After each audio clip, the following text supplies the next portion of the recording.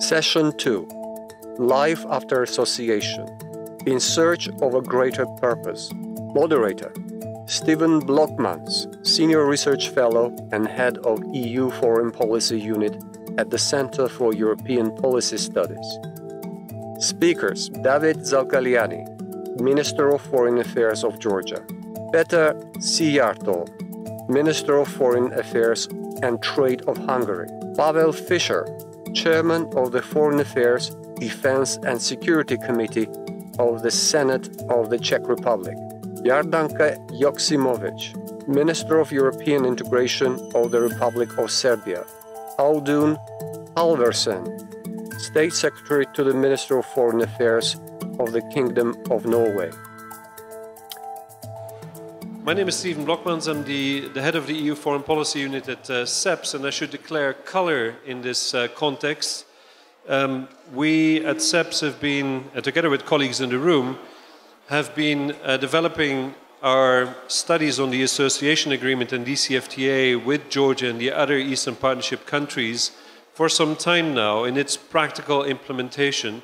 And we've also explored possibilities as to what should be the next steps for Georgia and the other Eastern Partnership countries in getting closer to the European Union in search of a greater purpose, the, the, the, the subtitle of this, of this panel. In a way, this, this panel is supposed to be a sort of thought experiment. I think it is fair to say that, on the one hand, in the um, referring to the initial documents of 2009 of the Eastern Partnership itself says that the Eastern Partnership is developed without prejudice to individual partner countries' aspirations for their future relations with the European Union. It's already been acknowledged by the previous uh, panel that 10 years on, uh, the Eastern Partnership is considered by many as an important branch of EU foreign policy but that it suffers from some shortcomings. Um, one notably is, of course, the EU's uh, failure to grant its associated partners a membership perspective, an EU membership perspective, which is said to mitigate uh, some of the positive impact of uh, policies and, and, its own policy, uh, rather. Um, and moreover, um, the fact that uh, the, uh, the EU has been uh, quite elusive about the finalité of the Eastern Partnership, um, has, um, has of course also um, eluded some of the, the, the strengthening of the uh, relations with those, uh, with those countries, and perhaps um, these, the EAP's aim of, uh, of strengthening resilience within those six countries' institutions and society remains as a result suspended in animation. Um, there have been, uh, of course, different uh, avenues already explored in strengthening those relationships, and the EU has on within the Eastern Partnership framework, but also in a bilateral context, developed innovative ways in order to give more body to uh, a strengthened partnership. And Georgia is uh, not the least of those countries uh, with which experiments have been made. Georgia is the only country not just the only Eastern Partnership country, but the only third country which benefits from a direct interlocutor of its government with the College of the European Commission. And so maybe that's a, a way of further exploring that um, uh, as, as, a potential avenue um, also for, for other countries. But I would like to, to turn to um, the, uh, the panelists here. And, and first, um, the Minister of Foreign Affairs of Georgia itself, you've asked us to be bold in our statements uh, and very clear in our ideas, so I, I, throw the ball straight back at you.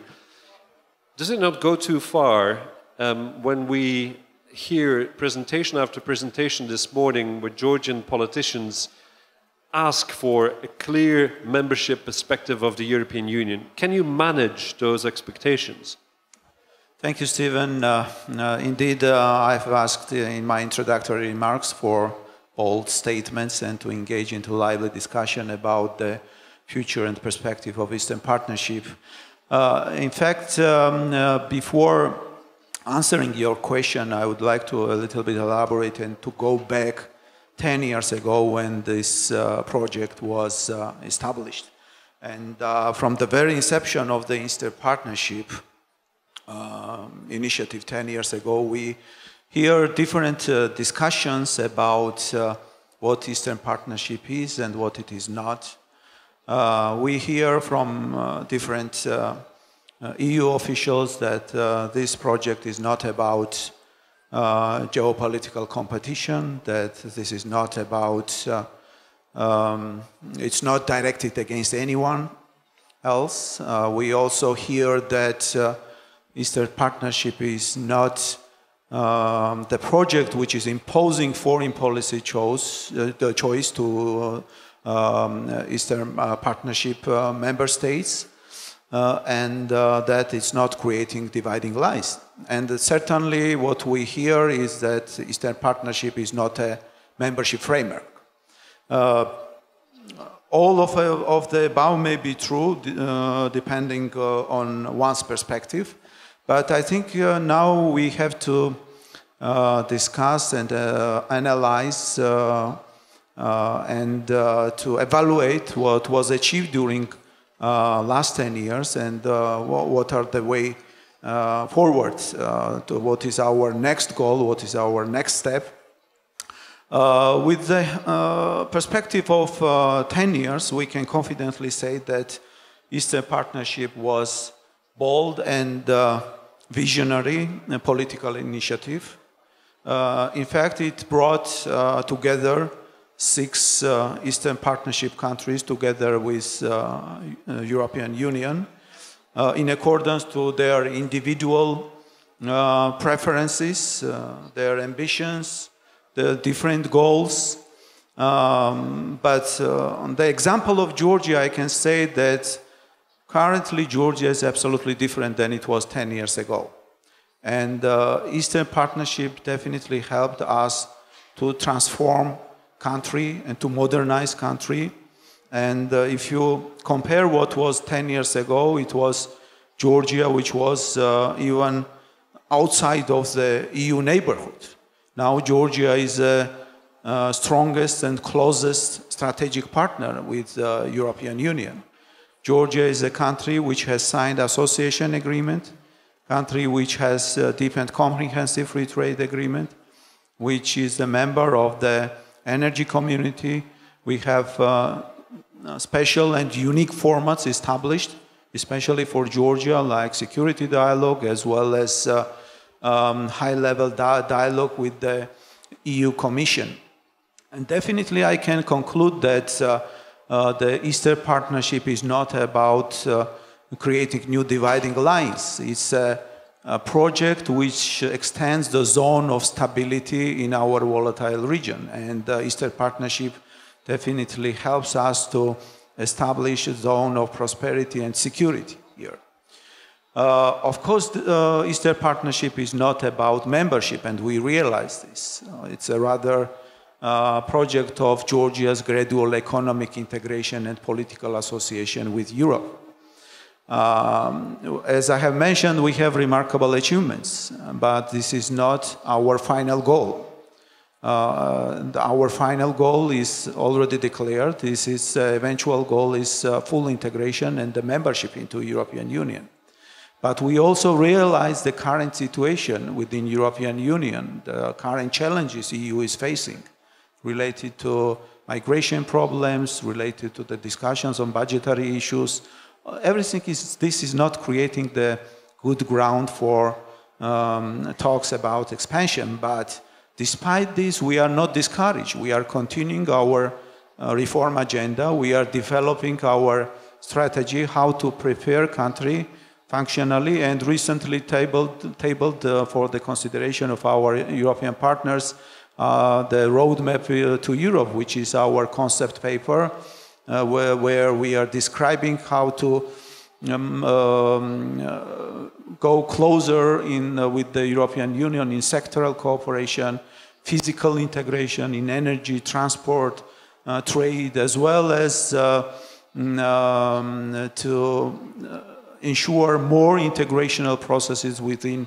uh, different uh, European programs and agencies. So this is our vision, how we see to continue how to prepare country functionally in order to be ready for the momentum when Europe is ready and then Georgia is ready. So this is how, how we see from the 10 years perspective the current situation and the way forward.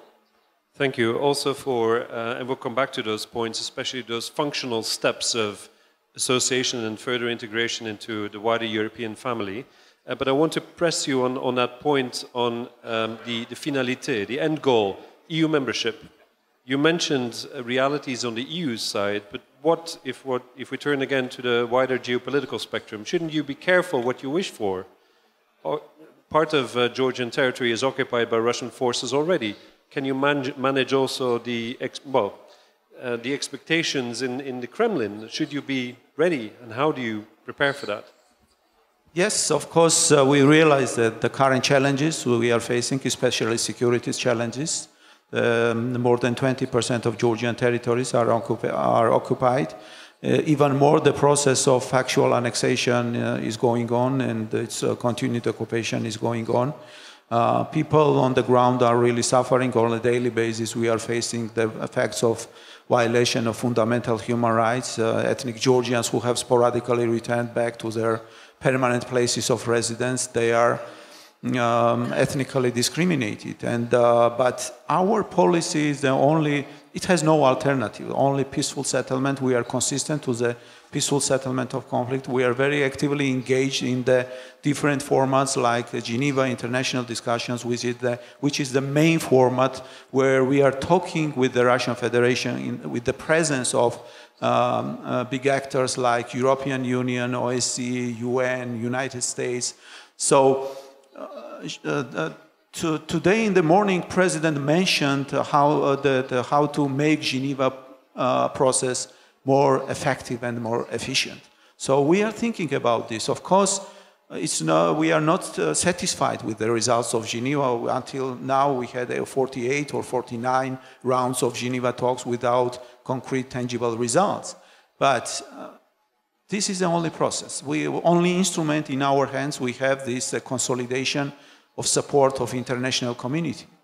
We are constantly raising high in uh, the international community's agenda, in the agenda of our partners with the Russian Federation, unacceptability of continued occupation and annexation of Georgian territory.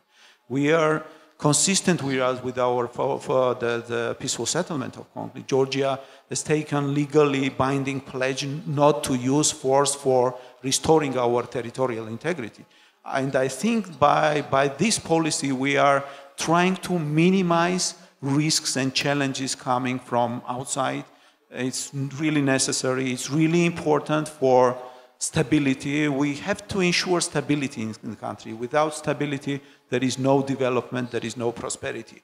And here again, we, we I said that the mm, uh, partnership is not a membership process. Of course, our eventual goal is membership, but the process itself is really very helpful and very useful for strengthening country internally, for strengthening Georgia's state institutions, for building vibrant democratic society, country where human rights are respected, where national minority rights are respected, and thus make this country attractive for people living on the other side of occupation line. So this is the policy how we, we see our future and how to make Georgia's Europeanization process irreversible. So new peace initiative, uh, which was recently tabled for consideration, Step to Better Future, it considers all the benefits Georgia is getting from the process of EU integration. We want to share these benefits to people living on the other side. Benefits we are getting from trade, free trade agreement with European yep. Union, freedom of movement, mobility, education, etc., etc. Okay, thank you. Um, moving on, um, there was a reference, of course, to uh, the enlargement process, uh, Ms. Uh, Joksimovic. But before Serbia was granted candidate country status, and before, of course, it started negotiating um, enlargement or accession to the European Union, it was a part of the stabilization and association process. Quite unique, of course, in the Western Balkan context. But nevertheless, the association that was present there. What, what did it mean for Serbia's preparation uh, on the way to the European Union? Thank you for your question and uh, for my distinguished colleagues and uh, audience. I want, first of all, to express that I'm a little bit dissatisfied with the fact that our colleagues from first panel, from ministers from different EU member states, have not been here to listen uh, us from different, uh, I would say, stages of accession, association, and other forms of, let's say, um, linkage with the European Union, because I think it would be excellent for them to hear our own opinions about the process. So that is the first remark I wanted to say, but okay, I, am sure that it was not malintention. So uh, the, the, second thing is that uh, you mentioned Western Balkan. Uh, I think that, first of all, we should also uh, redefine and try to, uh, to, to, establish or to make some um, rethinking exercise to see how to change lexical, lexical I would say, patterns in European Union. So you say Western Balkan, what does it mean? Where is the Northern Balkan? Where is the Eastern Balkan or the Southern one? I suppose they are members of European Union today. So uh, it's the same with the neighborhood policy. Because, for example, you have specific department in European Union dealing with enlargement and neighborhood policy. So the question is, uh, is it enlargement part of foreign policy of European Union? Or it should be, or it is still, part of internal common or joint European policy which should strengthen or re-strengthen or re-energize the European Union as a global actor. Because it's unprecedented um, advantage of European Union to have these contractual agreements with the states that they want to become and to share the values set, set by uh, European Union, uh, let's say, uh, democracies. So uh, I think the question is the same for the neighborhood policy. Is it a neighborhood policy a part of uh, only European external action service? Or it is a part of, of a real, uh, let's say, re-energized European Union as a global actor? Because we heard at the first panel how it's important for European Union to uh, be competitive uh, on, the, I would say, very uh, in, in, the frame, in the framework of stark realities that we are now facing. And we should not dwell anymore on yesterday's myths and rosy imaginations. Uh, maybe it's, however, they are still very cozy, but uh, I think that we have no, new realities. So when it comes to the enlargement politics, Serbia is a candidate country. We have opened 17 chapters out of 35 chapters, so almost a half of chapters that we have opened. We, we started officially negotiations in 2014, but before that, almost 10 years, we were preparing for first SAA agreement that we have signed in 2008 and 9 and uh, so 10 years ago. So I, uh, only, only I can hope that um, we will not celebrate uh, 10 or 15 years of negotiation process because I've heard this morning that we are celebrating 10 years of partnership. I hope that we will not celebrating, I don't know, 15 or 20 years of negotiations. Because the internal logic of the process is membership. You know, sometimes people ask me, because I'm a minister for five years in Serbia for EU integration, and they ask me, okay, so minister, why we are in this process? Because we can reach different standards without being a, a, you know, candidate country fulfilling all difficult obligations that you have to fulfill. And then everybody will say, yes, it's good for your society. Of course it is. This is uh, self-understandable. But the added value of the process and the internal logic as a driving force for this process is a full membership. Sorry to interrupt, but of course, President uh, of the Commission Juncker has said that you know 2025 would be the earliest possible date where frontrunners in the accession process might join. Others have immediately negated that uh, as you know fantasy. Um, but to your point, is the absence of a clear time path on the accession process does that risk basically undermining the progress of democratization and modernization that is being achieved? Well, uh, actually, uh, you mentioned something very important that we always forget. That uh, last year, it was February 2018, European Commission uh, created so-called credible enlargement strategy for Western Balkans mainly. Uh, and uh, Serbia and Montenegro has been marked as the front runners of this process with the open possibility to become a member state till 2025. So it is mentioned in European Commission document. Of course, we never said this is a promise. We said this is open opportunity if we deliver our own obligations and uh, uh, if EU delivers their own obligations. What does it mean? The key, I would say the key word is credibility. That is uh, why this strategy has been uh, titled as credible strategy. What does it mean? It means that uh, if we deliver on our obligations, European Union will give us better status, I mean, better, uh, or, let's say, uh, more steps forward to European membership. So, just to explain to, uh, to you what happened, for example, just a month ago. If Serbia did not open one chapter in June this year, enlargement politics will be uh, clinically dead of Western Balkan because no one else did a single step forward in EU accession process because we are talking when it comes to Western Balkan about accession process. It's a little bit different from the association process that Eastern Partnership is framed uh, to. So uh, we have opened one chapter. Without that, no single partner from Western Balkan will make, uh, uh, actually, uh, no one made any single step.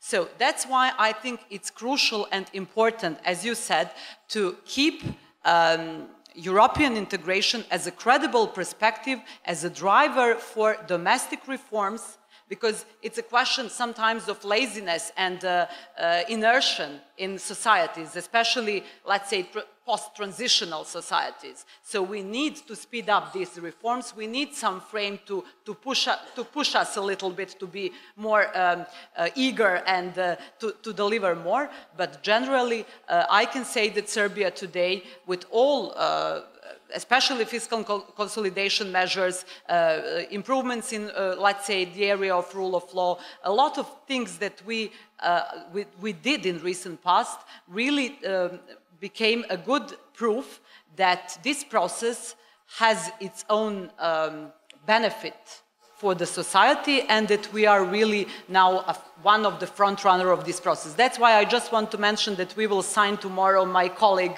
um, and, uh, and myself, we will sign the agreement for, from, uh, with Serbia and Georgia to exchange experience and we want to give our own experience to Georgia to help Georgia to be as much as it's, it's possible to be successful in this process. Okay, that's, that's uh, interesting um, interesting new development. Thank you for sharing that. I want to, uh, maybe evoking um, Minister Wallström's uh, proverbial rather ladder towards the European Union um, from the current association agreement um, with next steps towards ultimate EU membership and, and turn to Mr. Halvorsen, um, who of course hails from uh, Norway, a country that is the biggest member of the Euro uh, European Economic Area, um, a highly integrated uh, form of, um, of an organization of which its members nevertheless remain outside of the European Union. What are the, the benefits and the shortfalls or the shortcomings of such membership? Well, thank you, Stephen, and thank you um, for, for being here at, at the conference and, and also uh, the pleasure of attending this, this panel. I will return to the question of your question, Stephen. I would just like to say a few words initially on the Norwegian engagement in the Eastern Partnership and the experience of the EEA uh, as an EEA country that could perhaps also be of, of interest to, to the um, uh, Eastern Partnership countries. And of course, uh, Norway is formally an outsider in both uh, the Eastern Partnership uh, and also in the EU as such. But of course, uh, I think it's safe to say that we are the most uh, integrated uh, non-member country. Uh, and of course, That is mostly through the EEA agreement, but also with more than 70 other uh, agreements between Norway and the EU. So that means that for 25 years, we have the experience of working very closely towards the EU, with the EU, and also within the EU, uh, while being formally on the outside, which uh, I think is a relevant, a relevant experience also for uh, associated and partner countries. And that means that also when it comes to foreign policy, we see that the Norwegian, uh, Norway and the EU share policies and priorities, not the least to the neighborhood, which has informed our work uh, through the Eastern Partnership framework from the very outset. This has been a key priority for us. We share the goals of the Eastern Partnership. We work uh, very closely with the EU when it comes to the priorities, when it comes to the policies. Uh, we supplement and we coordinate it very well. Uh, we actually now have a more than 40 million euro annual budget line for our cooperation with uh, the EAP countries. There are also direct contributions to uh, Eastern Partnership projects. Uh, a recent example is a new project with Estonia, working on uh, transparent local government here in Georgia and in other EAP countries. And also the Norway and EEA regional fund, where some partnership countries can work with third, with um, EU partners in, uh, in, in, building um, partnerships. But moving on to the uh, EEA perspective and experience, the EEA agreement celebrates its 25th anniversary this year. This year. We see that popular support for the agreement in the member or in the EEA countries remain strong. The agreement continues to serve us well. And of course, Norway and the other EEA members are now fully integrated in the single market the four freedoms apply fully. The trade aspect is hugely important. For Norway, uh, the EU receives uh, about 80% of our exports, but it is, of course, much broader. It goes to movement, it goes to education, it goes to uh, businesses, investments, uh, consumer protection, and uh, very important mutual uh, policies such as combating climate change. So the value is obvious. But at the same time, and this I think is a key point, there is still a discussion, even in, within this mature framework of the EEA, on how to best work uh, within the framework. We see that it requires substantial institutional capacity and continuity, more or less to the same uh, level required as in member countries. And it also requires continued political will. So even for EEA countries, it can be institutionally and politically challenging to capitalize on the possibilities that the framework for cooperation with the EU entails. You have to seize the opportunities, you have to stay relevant, you have to prove your relevance uh, and how uh, participation and contribution to specific initiatives will serve the common good, so to say. I think this is a crucial part of building credibility uh, which at the end of the day is the decisive factor for association and beyond. So, when it comes to the question of the EEA today, uh, I would say that the benefits are obvious.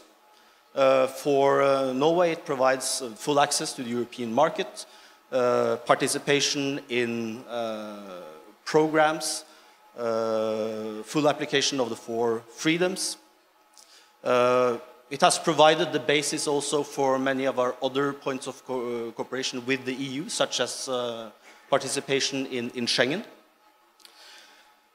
So for Norway, it works very well, given that there is no political uh, will in the Norwegian population for full membership. And I think that is also the situation also in Iceland and, and Liechtenstein.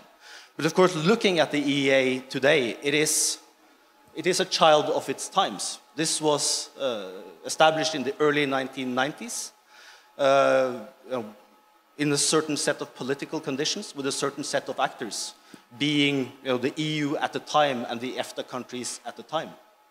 And of course, in that perspective, the relevance today can be discussed.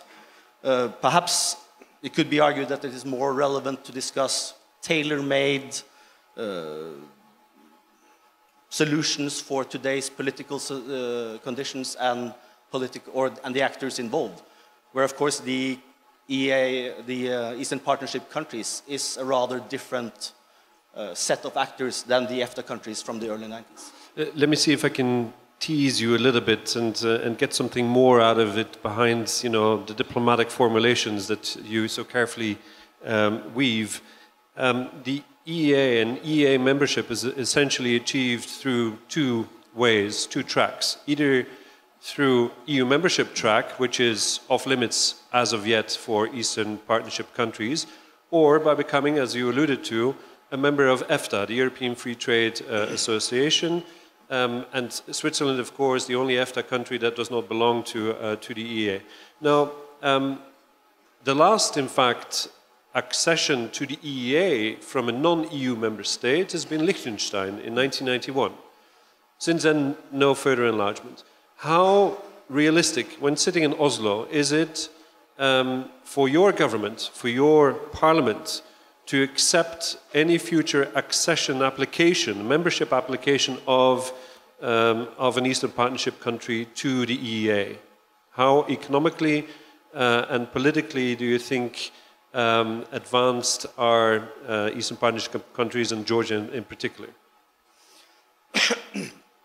well, as you say, I think you know, right now it, the question is uh, more or less hypothetical, given the formalities of either uh, EFTA or the EU uh, sort of point of access. Uh, the uh, EFTA 4 re quite recently concluded a free trade agreement with Georgia, I think that was a very positive step forward. We would like to see that being used to its full potential as a, as a sort of next step. And of course, you, many of the same political realities as you mentioned in your introduction, Stephen, when it comes to uh, sort of the, the, situation on the EU side, that discussion is also very much present in the uh, EEA EFTA capitals. Now, this would be something that would be, have to be very carefully considered, uh, and also I think would be a, a quite controversial discussions. But looking at, you know, would the EEA today be the optimal solution for Eastern Partnership countries? I'm not sure that's a given either. If you look at the specificities of the EEA agreement as it is today. Uh, if you look at the preconditions for access and for actually living up to the provisions of the EEA agreement, you see that the, the demands when it comes to uh, adopting and implementing uh, EU legislation, when it comes to, uh, as I said, uh, the institutional capacity, it is basically the same. So, you know, it's not necessarily easier to, to enter the single market through the uh, EEA mechanism than through EU membership. Uh, and also looking at uh, economic issues, specific sectoral um, limitations on the EEA agreement. You know, there are items there that does not make this, you know, necessarily very straightforward. No, I understand. And so, in a way, we're defining a sort of upper um, upper ceiling in a way, in realistic terms, politically, economically, um, for those intermediate steps that could be taken uh, from the current status of association. Um, but nevertheless, the European Union is changing uh, too. Um, Minister uh, Szijjártó, um, what does it mean to be, um, uh, to be a member of the European Union today? And where do you, what future membership, what, no, sorry, let me rephrase that what do you think membership will look like in the future? Well, David, thank you very much for the invitation. Uh, thank you for moderating um, this panel. You know, Hungary belongs to the pro-enlargement countries in the European Union. But I have to be honest with you, this position, I mean, being pro-enlargement, is currently in minority within the European Union. We have to be honest towards each other. It, this position is currently in minority. Uh, we Central Europeans basically are in favor of enlargement. We are in favor of quick uh, enlargement. Um, to be honest, I think that was a shame that three weeks ago the General Affairs Council has not made a decision to invite Albania and North Macedonia to, um, to start the accession talks. We always hear our Western European friends speaking very pathetically about the support towards um, enlargement policy. But when there is a real opportunity to decide, then the decision is always postponed. Now it is being said that the decision will be made in October. But it has been said for months that the decision would be done now, and the decision was not done. This is, I think, totally against the interest of the European Union and totally against the interest of the Central European countries for sure. When we come together, foreign ministers of the European Union, once every month, like next Monday, and we address the situation of the so-called Western Balkans, which I usually like to refer to as the southern part of Central Europe, uh, there usually uh, many of the foreign ministers uh, complain that uh, big factors or big actors of global politics like Russia, China, Turkey, Qatar, whoever, I don't know, Saudi Arabia, are playing such an influential role in the Western Balkans. What a bad news that is. And then I raise the question to my colleagues, so my dear friends, why we are not playing that role? What hinders us from playing this role? What hinders us from making the decision that finally we start real accession talks with Albania and North Macedonia and we go forward with the accession process of Serbia and uh, Montenegro. I have to tell you that uh, you have uh, referred to, uh, uh, Stephen, to the, um, to the announcement of Jean-Claude Juncker. Um, the outgoing president of the European Commission, suggesting that 2025 would be the first possible date for accession. I think it's unacceptable. We reject it because the time he made this uh, announcement was uh, 200, uh, sorry, 2,500 days away from 2025. 2,500 days. My question is, why do we need 2,500 days to make a decision whether Serbia, Montenegro, country which we know very well, since we are neighboring countries, so we know, very, we know them very well. So why do we need 2,500 days to make a decision whether they are able to join the European Union or not? So this uh, position of the European Commission is unacceptable for us, and we consider the decision of not launching accession talks uh, with, uh, with the further countries from the southern part of Central Europe as, as uh, something against the, um, the European interest. Look, the European Union, as you say, we are undergoing changes. I would phrase that we are faced with historic challenges. Because if you put forward Brexit, you put forward migration, increasing threat of terror, energy security, our relationship to the, um, to the Eurasian uh, Economic Union. So all these are putting uh, historic challenges ahead of us. And the question is how we uh, face them. And you know there are many complaints that there are debates. My question is why shouldn't be debates? Or when should be debates, if not now, when we are, when we are faced with real questions? And if you, uh, you look for real answers for real questions, definitely you do have debates. And challenging the right to debate is a very anti-democratic approach. So I think it's not bad news that we do have uh, debates within the, uh, within the European Union. But I, what is really bad news, that these challenges divert our attention from, uh, from these long-term strategic issues like enlargement. Because, Stephen, it's not going to be the most uh, sophisticated sentence you ever heard someone who is dealing with foreign affairs. But my principal position is that the more we are, the stronger we are. And you know, now as UK is, um, is about to leave the European Union, this is going to be the first time ever that the number of the member states of the European Union will decrease. That has never happened in the past. Whenever there was a change regarding the number of the member states, there was an increase. And now there's going to be a decrease. And we would like to change this trend. We want to divert that. And we want the, um, the countries from the southern part of uh, Central Europe to, um, uh, to uh, join the European Union. And when it comes to the Eastern Partnership, you know, I think it's very discouraging that the only thing what we can say about the Eastern Partnership is that it's 10 years old. You know, I mean, uh, I think we, we, we need to get rid of this uh, one-size-fits-all approach, and we should enter into a tailor-made um, uh, tailor-made approach period. Because definitely the six countries taking part in this proj program, project, or, or partnership, are coming from six different starting points, and have six total different aspirations. Why do we want to stick them artificially? Why don't we apply a uh, tailor-made approach um, uh, in this regard? And you know, when it comes to Eastern Partnership, my big concern is, my big concern is that if we do not give, and this goes to the Western Balkans as well, if we do not give, as a European Union, if we do not give positive feedback to these countries, then the pro-European governments will suffer because their credibility will be harmed because the people from your countries will ask the pro-european government so why you are putting so many efforts on this pro-european or pro-nato pro-euro-atlantic path if you don't get any kind of positive feedback? So not giving positive feedback from the uh, from the from on behalf of european union it is a bad strategy. So that's why i would like to tell you that we as a central european country we as a so-called newcomer, you know, more than one and a half decades ago we joined. So uh, we as uh, we as a so-called newcomers, we are more sensitive on enlargement, being neighborhood to the Western Balkans, being only two hours and 10 minutes flight away from Batumi, uh, we are more sensitive on that and we are pushing forward both Eastern Partnership Program to be more tangible and uh, the, um, the enlargement process to happen finally. Yeah, that's a good point.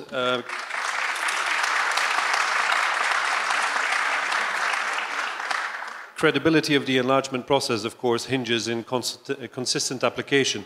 Um, and your, your adversaries would also agree with you, of course, that the enlargement process needs to be beefed up uh, in order to prepare candidate countries for, you know, uh, rule of law functioning. And we've seen that uh, before uh, in, in the discussion, at least, that, uh, that we had. My question is, and your, your own government is under the spotlight, of course, of the European Commission, uh, European Court of Justice there is a de facto but also a legal differentiation within the European Union in terms of membership of different uh, policy areas, uh, Schengen, uh, EMU, of course, Eurozone, uh, defense uh, to a more limited extent, um, EPPO, the European Public Prosecutor's Office. Um, so, hence my question again how do you see the future of membership evolving? I mean, this is not going to just yeah. be the more the merrier.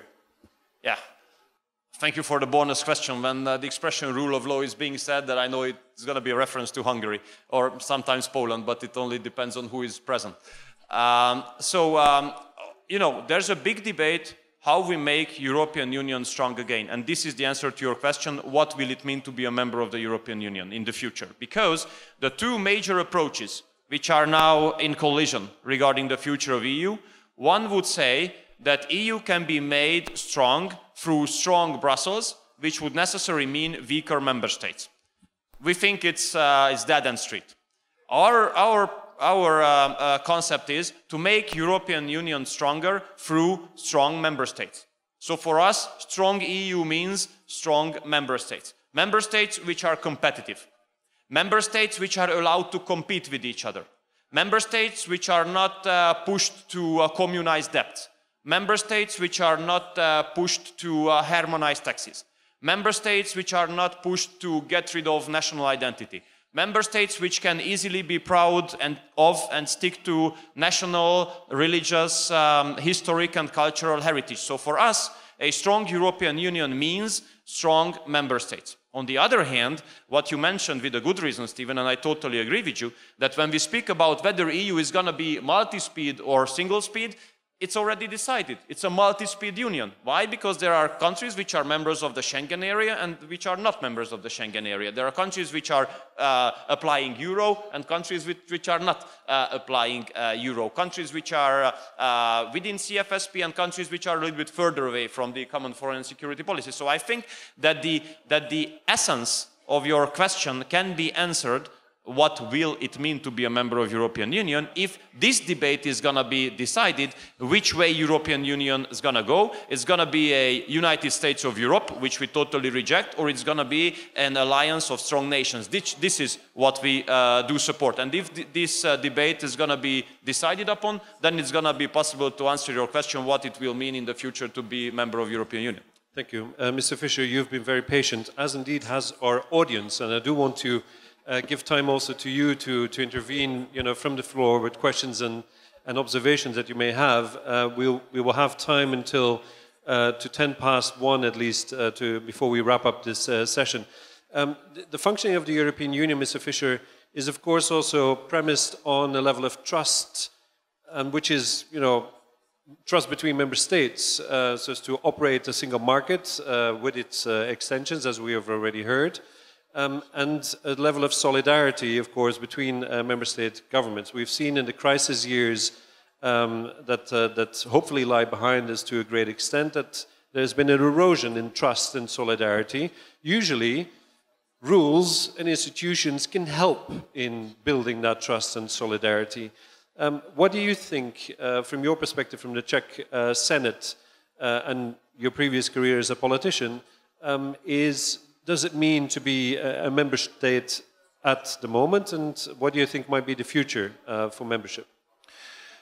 Thank you very much for inviting me to, today in Batumi. Uh, I am uh, very pleased to speak not only on my own quality, but uh, in my own capacity, but also to speak on behalf of the Senate, because in the Senate, Georgia, namely, has many very, very good friends. And uh, we discuss very often how to promote and help and speed up the process. Two questions solidarity and trust. Solidarity first. I am of the opinion that the recent issue which was discussed within the Council of Europe regarding the opening door to Russian Federation after the invasion of Ukraine without further conditions was a grave mistake. Because many of the countries, first Ukraine, but Georgia and others, were against this decision.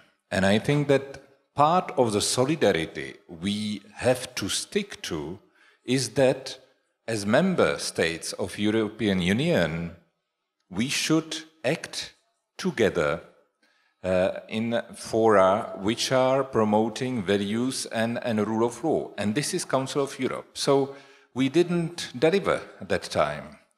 We, Czech Republic, European Union, because Georgia and Ukraine were of another opinion inviting back Russia after invading Ukraine was a mistake because there were not any further conditions for it. Second, trust.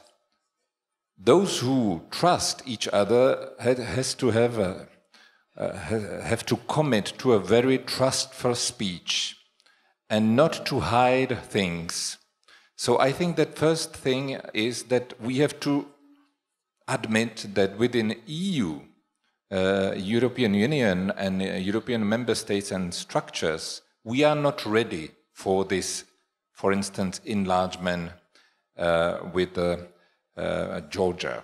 At the same time, we have to commit and we have to do maybe more. We have to put something more on the table. This more should be, for instance, budget committed to different projects we should maybe do more in terms of inviting Georgia to take part in different sectorial um, uh, cooperations. We should maybe create a clearinghouse where Georgia should come and ask for help, and individual member states, member countries, should uh, uh, propose uh, how to react, how to fulfill this need, how to meet the needs on behalf of Georgia and how to meet the proposals on, on behalf of member states. So if we speak about trust, we have to be very clear that the gap between the expectation we have uh, seen to, today and the bold messages on behalf of Madam uh, President of the Republic, Mr. Prime Minister, Mr. Speaker, Mr. Uh, uh, Minister of Foreign Affairs, it was such a sound message that we have to say, thank you very much, we listen, and we are ready to take this commitment very seriously, but at the same time, let's create a space that would provide to Georgia, namely, but also to other countries, space to move forward without uh, opening this um, negotiation process for which we are not simply ready. And on the national level, and now I speak uh, on behalf of the uh, House, of the Senate, we are ready and we do already accompanying uh, a Georgian aspiration in this regard. Thank you very much, uh, Mr. Fischer, especially also for squaring the circle and coming back to, to Georgians' aspirations. I'm looking into the room. Um, we still have um, around 12 to 14 minutes to, uh, for questions and answers. Uh, so I would like you, first, those of you who want to ask questions to be short and sweet to ask a question and to briefly also uh, mention your name, affiliation, and to whom you would like to address the question. See gentleman there on the side. You can start. If a microphone could make its way. Thank you.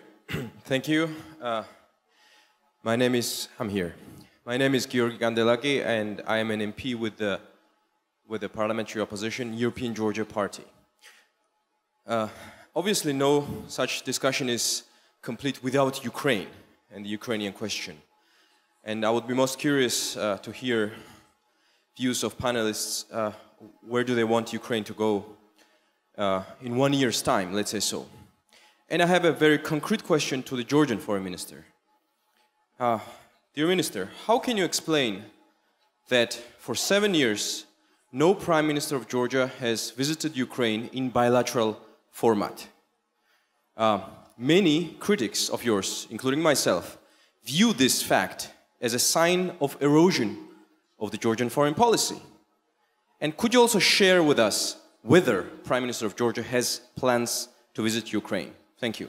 Thank you very much. The Ukraine question is, is key, of course, if we define next steps for Georgia on its way to the European Union. The immediate question will be well, what about Ukraine? Minister. Uh, well, thank you very much. Uh, thank you for this question. Of course, uh, Ukraine is uh, Georgia's closest uh, partner, strategic partner. We are developing very close bilateral times in bilateral format as well as multilateral formats within GUAM Group, uh, within Eastern Partnership, and we, of course, considering being together with Ukraine in many new formats like trio format, for example, on DCFTA, and also when we are thinking about uh, how to uh, proceed further uh, within the Eastern Partnership Group on the uh, EU integration process. I think this format of Moldova, Georgia, Ukraine to focus on the uh, DCFTA and trade-related issues as well as cooperation across the Black Sea to increase that uh, transport communication is a, a, good example. I cannot agree with the colleague from the parliament that there was no uh, bilateral meetings with the Prime Minister of Georgia. With uh, uh, first of all, the President was here, the President and also Prime Minister was here in Georgia, and there was a meeting between them, and we are constantly using also mm, the mm, uh, different formats, different uh, gatherings of um, during in the margins of international organization, General Assembly format as well uh, as the Munich Security Conference, etc., where we are meeting and constantly discussing. I have direct contact with my Ukrainian colleague just before Batumi conference, I talked with him personally, and I invite him uh, to, to participate here. We have Deputy Vice uh, Prime Minister here and the, the, the Deputy uh, Foreign Minister. Uh, they are participating. Also, I see my uh, colleague, uh, the Minister of Defense, and he met three times with his colleagues, so I cannot agree with you that there is a reluctance from Georgian side of, of uh, uh, having close and uh, contacts and close ties with our Ukrainian colleagues. Thank you. Um, Mr. Szijjártó. Well, thank you for the uh, question and raising this issue. Uh, we are a direct neighbor uh, to Ukraine. And we are absolutely interested in a stable and democratic and strong Ukraine as a neighboring country. We have 150,000 Hungarians living in uh, Ukraine. And I regrettably, I have to tell you that uh, their rights, their minority rights were uh, seriously violated under the regime of uh, President Poroshenko. With passing two laws, one on education and one on using minority languages, the uh, access to a 100% um, uh, education on mother tongue has been eliminated and the um, usage of, um, of minority languages in education, in culture, and in uh, media is now pretty much challenging. So I think that if a country takes it seriously, that uh, would like to go forward um, and go um, and, and, progress with integration procedures, then uh, has to uh, respect uh, the uh, bilateral and international obligations, especially when it comes to national minorities. With the new president, we see a new hope. His statements were rather encouraging. So uh, we hope that uh, after the parliament elections in Ukraine, he's going to um, repair uh, this uh, situation and he's going to give back the already um, um, existing rights of the minorities which were taken away. Because there's a very good benchmark, and here I would like to refer to Serbia. Serbia gives the most rights to Hungarians among our neighboring countries, among which there are EU member states, but the Serbs give much more rights to the Hungarians than the EU member states as well. So when it comes Minister, to uh, when it comes Minister. to countries to join, then I think this is a uh, benchmark we should follow. Um, the question is, of course, uh, the conjunction uh, Georgia-Ukraine, this tandem. Um, Mr. Halvorsen, you indicated you wanted to talk, and from an EEA perspective, of course, this, this is problematic, I assume. Well, the contact with Ukraine is not uh, problematic at all. Together with with um, with Georgia, Ukraine is, is our closest uh, partner in, in the region by, by far. We work together on, on so many levels when it comes to to uh, support uh, Ukraine's uh, Euro-Atlantic integration. And I think the success of Ukraine is uh, extremely important for uh, European stability and peace, democracy, the rule of law in throughout Europe. So we want definitely Ukraine to, to succeed. Uh, just one example I would like to mention when it comes to the cooperation with Ukraine from the Norwegian side is uh, a renewed and very sort of very practical dialogue and cooperation when it comes to cooperation with the EU. Uh, this is something we are now also developing together with uh, German, Germany to basically pair uh, relevant sections, public authorities, uh, agencies, down to the individual level uh, in Norway and Ukraine to look at how uh, the Norwegian experience working with the EU is transferable to, to the U- Ukraine today. So this is a, a very practical um, example of uh, preparing Ukraine for uh, further uh, Euro-Atlantic integration. Yes, but not necessarily EEA membership. Um, I'm filling out the blanks here. In view of time, um, I will do a lightning round and collect three uh, further questions. We had one on that side still and two here. Uh, so I will first ask each of you to be brief in your, um, in your questions and then to, uh, we'll return it to the panel.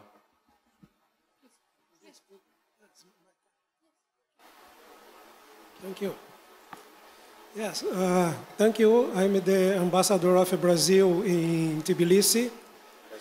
In the closing of last panel, a surprising and improper reference was made to the President of Brazil out of the scope of the panel.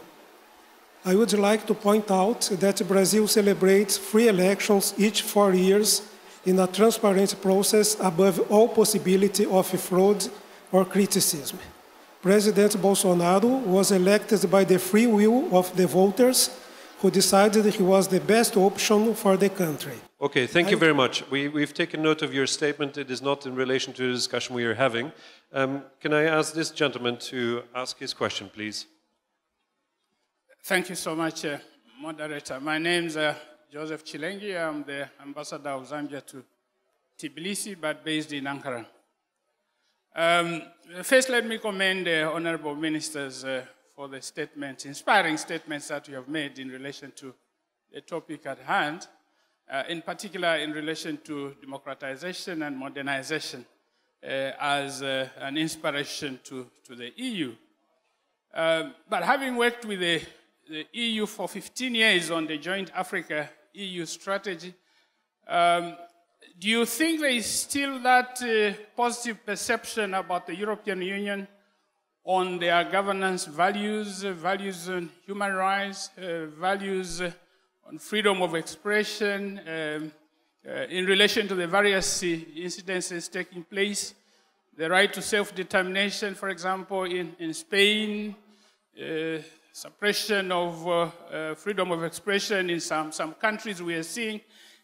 Do you still believe that there, there is that value for the European Union uh, to provide a framework that uh, uh, harnesses cultural, human rights, and, and governance values other than the monetary benefit that come with it? Thank you Thank very you. much. Yes, uh, the EU's power of attraction. Sir, there in the middle.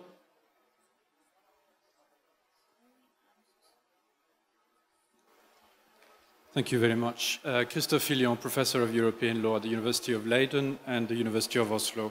Um, I had a question to the Hungarian uh, Foreign Minister.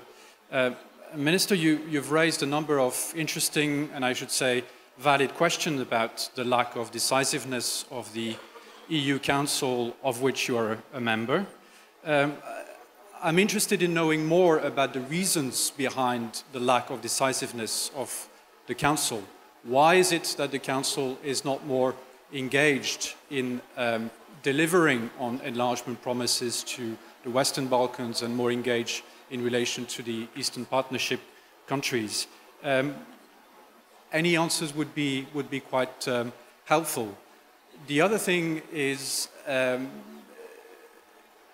your vision of what membership is seems to me in the era of Brexit to point towards alternative to membership as it is sometimes understood. Is this what you are proposing? Thank you very much. And the last question here on the aisle corridor.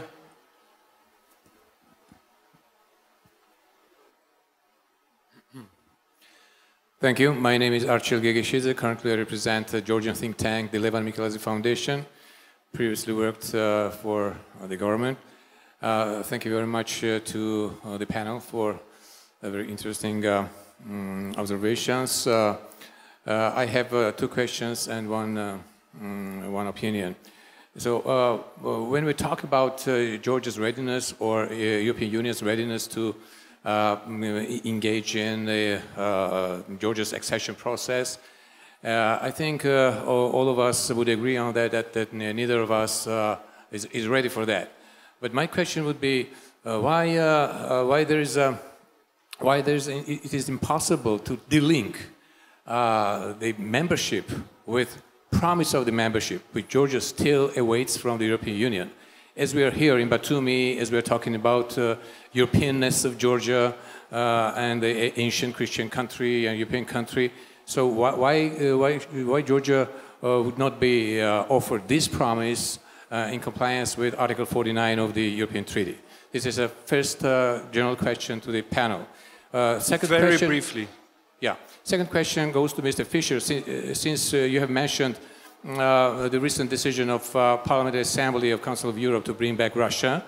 Uh, this decision was uh, received Georgia with surprise and anxiety because this sends to Georgia a very bad message that if and when Georgia gets into the same trouble with Russia, then what are we going to expect from our European friends? And my question to you would be, uh, what, what, was the argument behind the decision of those who supported Russia's bringing back to uh, uh And the third question no, goes I. Need to, I need to stop you there. Um, Mr. Fischer, there was a direct uh, final question here uh, to you. If you could uh, please respond as the first of the panelists and then be brief in your final remarks, one minute each, please. Thank you very much for the direct question. Direct reply. I am not the spokesperson of these countries. So uh, they took this decision uh, based on the narrative that the uh, Human Rights Council should, uh, should be, the, the, the, the, Russian citizens should have access still to a Human uh, Rights Council within um, Council of Europe. And this access uh, should be more important than taking into consideration all the conditions in which Russia was invited to stay, um, uh, uh, stay outside. Uh, we have, nevertheless, to be frank, uh, a Russian constitutional court already decided five, six years ago that they will not pay attention to the decisions uh, took in, in, in the framework of Council of Europe. So this access is already half closed. So this is the issue to be debated, but the, uh, the, the, door was open and uh, me personally, I see it as a very serious mistake. Thank you. Mr. Szijjártó. Thank you, Professor, for your question. Um, you know, I think the biggest problem uh, there is that there's a big bunch of hypocrisy and political correctness still. And our aim is to leave all these behind, to have a uh, room and space for uh, open uh, straightforward and uh, honest uh, decisions. Uh, since uh, we always say the same in front of public and be behind closed doors, I don't know what is the reason for another type of behavior. So when it comes to enlargement, you, you will hear very pathetic statements of our friends in the European Union in favor, and then we go behind closed doors, they, uh, they don't allow to make the decision. So uh, I think we should ask them. What I, I think is that uh, political correctness and hypocrisy uh, should be left behind. Now, when it comes to the, uh, to the uh, membership question, maybe I, I've, I phrased my, my words in a, in a way which could be misunderstood. So um, the, um, there's no alternative for membership. So I mean, membership is, uh, is one single phenomenon, and we would like to see more and more countries having this membership in the European Union. Now, but, but regarding how the debate will be decided, whether, whether we're going to go towards a United States of Europe or an alliance of uh, strong um, countries, uh, will determine how many competencies you have to, let's say, share uh, with Brussels as a member. What we think is that no further competencies should be shared. So the um, competencies like uh, border protection, uh, making decisions about tax regimes, uh, making decision about um, uh, energy policy, making decision about economic policy should be left on the member states' uh, uh, competence. So that's how I, I meant that uh, we don't know what's going to be the meaning of the membership, whether more competencies should be given to uh, Brussels, which we don't like, which we reject, or it's going to be an alliance of uh, strong member states. Mr. Halvorsen, last final remarks? Just a few words. Uh, I think when it comes to the discussion on the future of the uh, Eastern Partnership countries and the relationship to, to Europe. Uh, I think it is open for discussion whether it should be a debate on uh, EEA, for example, or on more updated, tailor-made mechanisms and, and membership. I think that is uh, a point that we need to, to uh, look at uh, further going forward let me just reiterate from the Norwegian side, we remain strongly committed to our friends and partners in the region, to the Eastern Partnership as such. Uh, we have recently opened our embassy here in, in Tbilisi, uh, so we are now even better placed to partake in the um, developments uh, here in the region and uh, to expand our cooperation even further. So we want to be a constructive and consistent partner for partners for the countries here going forward and the Norwegian commitment uh, remains strong. So thank you. Thank you very much. Ms. Joksimovic. Uh, well, just a few remarks. I was listening very carefully about the different questions and different answers, but what I think it's important to understand is that for the Eastern Partnership, we, or EU, uh, is uh, neglecting the fact that there is a free elephant in the room. And the only elephant on the paper is European Union. So the others are, you know, USA, China, and of course, Russia. So EU should uh, become a real elephant in the room, not a, on a paper when it comes to the Eastern Partnership. That is really something that we, looking from outside still of the European Union as a candidate country, uh, we, we can see that. When it comes to the uh, topic of the membership, I think that the key question could be, it's not only life after association, but life after accession. But not only the question for the new member states, but for the old member states. Because all, the member states have its own benefits from the enlargement process and from the accession. So for us, it would be, for example, for Serbia, excellent opportunity. This Monday and Tuesday, President of France, Macron, will come to Serbia for two days visit with our President Vucic to, uh, to talk openly about the future of enlargement. And I think it would be useful for President Macron also to hear from candidate country how we see the credibility of the process. So life after association is also a life after accession. It's also a legitimate question. Thank you. Thank you very much.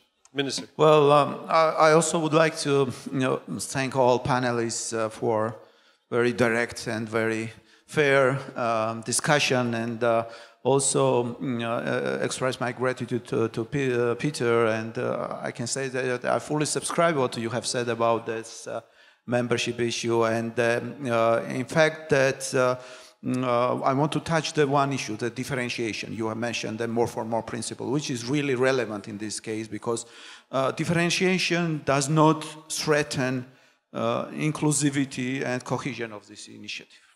Um, uh, to the contrary, I believe that danger lies uh, in reducing uh, its ambitions to the lowest com common denominator.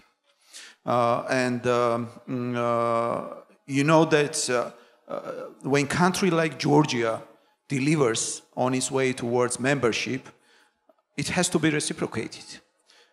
We've talked today in the morning in our bilateral meeting that uh, according to all recent polls, the number of population supporting Georgia's EU aspiration is very high. Almost 80%, 80% support Georgia uh, EU uh, integration. So, but this cannot be considered as granted. If we do not deliver, this can be reduced, and it will be extremely wrong signal internally and externally.